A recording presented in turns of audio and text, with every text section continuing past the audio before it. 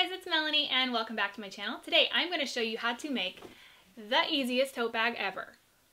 I hope you guys enjoy this project, beginner friendly project, and of course I love, love, love to see what you guys make, so tag me on Instagram or Twitter or upload pictures to my Facebook page, Google+, wherever you can find me. I love to see what you guys are working on. Also, don't forget to subscribe so you won't miss a weekly video. And at the end of the video, I'm gonna give you my tip of the day. So stay tuned for that. Let's get started, and I'm gonna show you how to make this bag.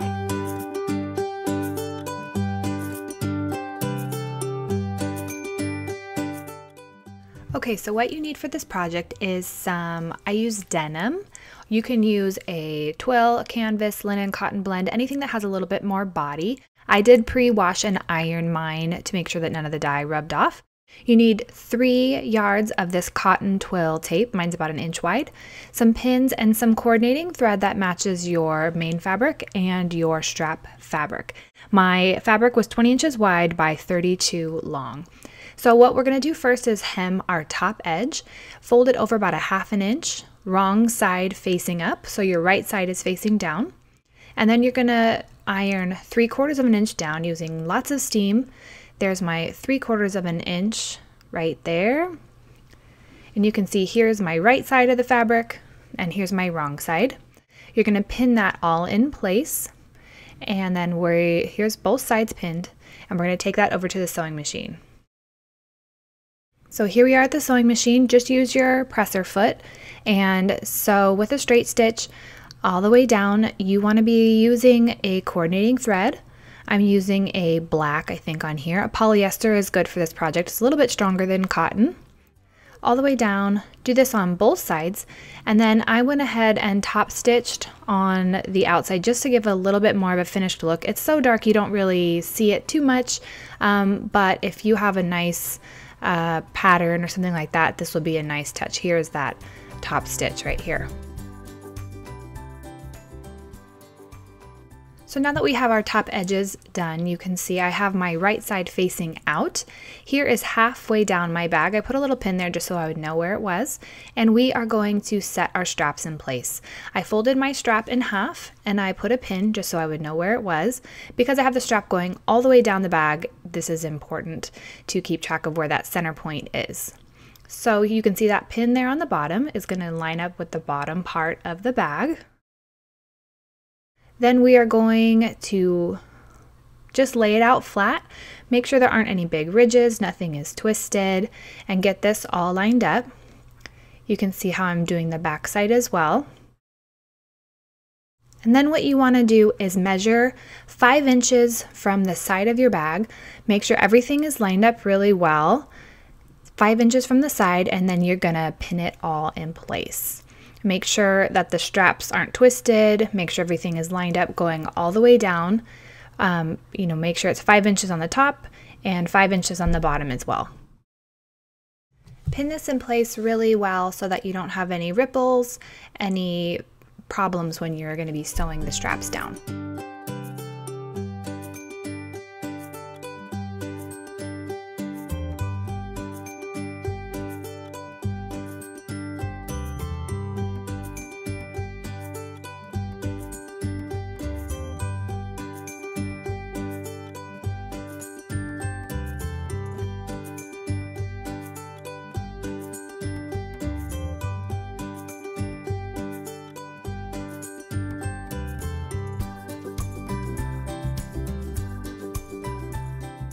So now that everything is lined up and pinned, I just wanted to open up the bag and make sure everything looked okay.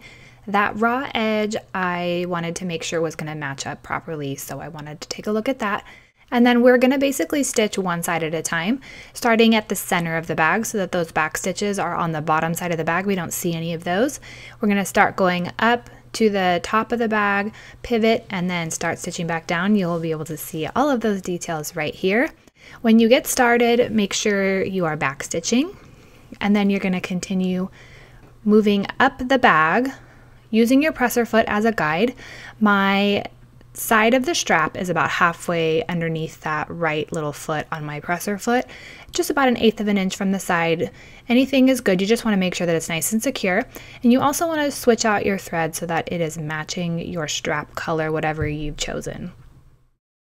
When you get to the top, pivot around, make sure everything is nice and secure, and then you're gonna go head back down the strap all the way to the other top of the bag. Just being going slow, making sure there's no ripples, no bubbles. Pin, take your pins out as you go, and uh, yeah, sew the straps down.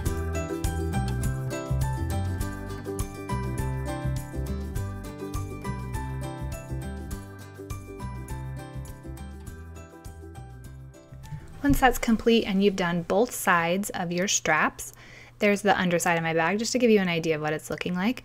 You're going to be placing your bag right sides together. Line up your straps, make sure that's all lined up, and we are going to pin our edges to sew together. Pin it really well, and then when you take it over to the sewing machine, you're going to backstitch really well and using a 5 8 seam allowance, you're going to stitch using that dark thread again for me or whatever your coordinating thread is for your bag color. Switch back to that and sew down at 5 eighths of a seam allowance going down the sides of your bag, both sides.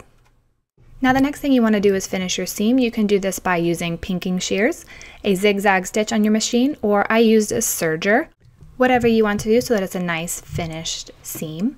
Now I'm going to box out the bottom of the bag just ever so slightly. So you want to take some chalk and make a mark on the bottom side of the bag, then line up your side seam with that bottom chalk mark.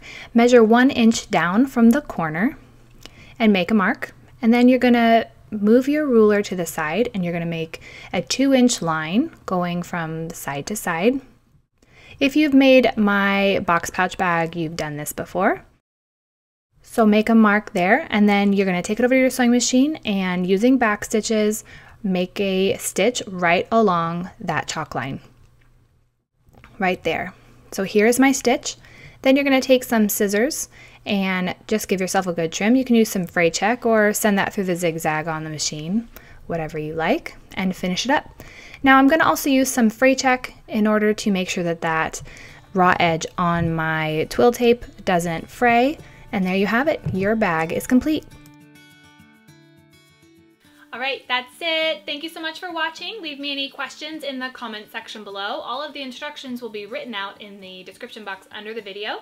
If you're on a desktop machine, it will say show more. Click on show more and that will open up. If you're on a mobile device, to the right hand side of the title of the video, there will be this tiny little gray arrow shape. Click on that and the description box will open. All the details will be there. My tip for today is when you are attaching your straps, be sure to use lots of pins. I'm a fairly confident sewer, so I didn't use tons and tons of pins, but if you're new, the more pins, the better. It can't hurt you at all. My favorite pins are the Clover glass head pins. They're a little bit more expensive because they have the glass head. And the glass head is cool because you don't necessarily need it for this project, but for future projects, you can iron over those pins because they're glass and they won't melt like the plastic ones. So I like to have those in my sewing supplies.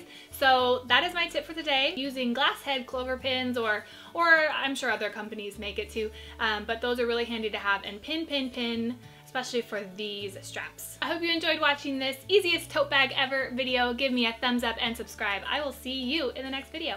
Bye!